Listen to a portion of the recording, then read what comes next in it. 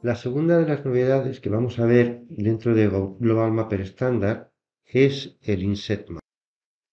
Dentro del editor de diseño de mapas, eh, ahora tenemos la, posibilidad de insertar eh, mapas adicionales dentro de un recuadro para agregar información adicional a nuestro mapa. Eh, vamos a poder incluir mapas en 2D, en 3D o un visor del perfil de una ruta que hayamos eh, realizado.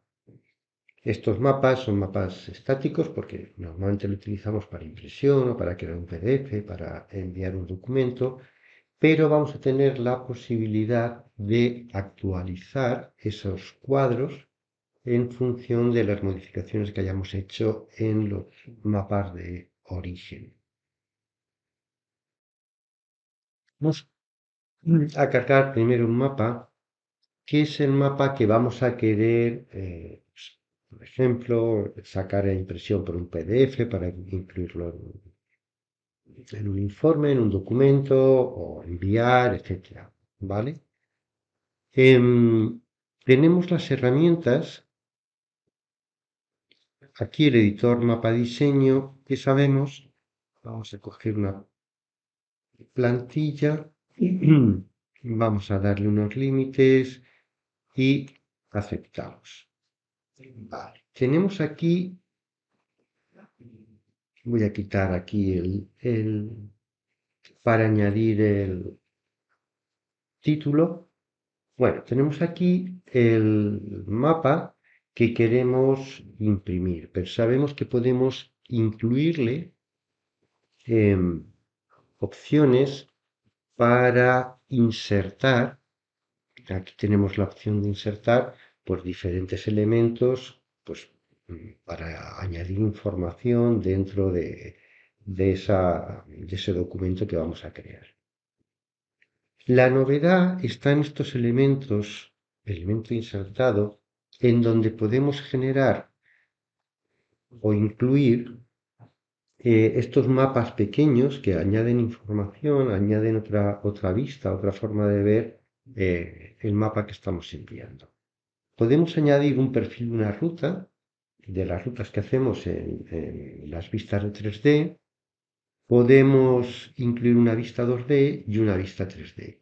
Por ejemplo, tenemos aquí el mapa que queremos imprimir, pero le vamos a quitar la elevación vamos a insertar esta vista 2D, nos va a insertar la vista que hay ahora eh, por defecto y en el otro vamos a incluir nuestro mapa de, eh, de elevación.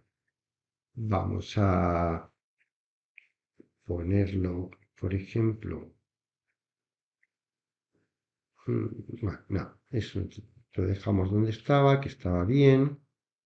¿Vale? Y vamos a cambiar un poco. Aquí vamos a ponerle 3,5. Y también podemos incluir una vista 3D. Para incluir la vista 3D, lo que tenemos que hacer es visualizar primero o que nos muestre esa vista 3D.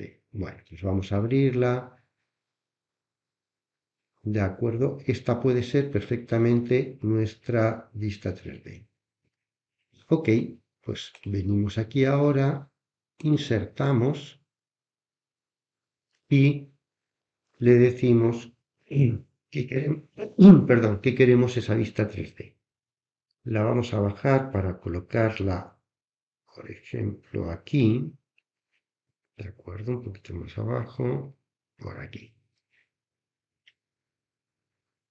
Y ahora ya tenemos la visualización no de nuestro análisis de altura, sino de la, imagen incluida con este mapa de elevación que hemos hecho y eh, la vista 3D del mapa de elevación.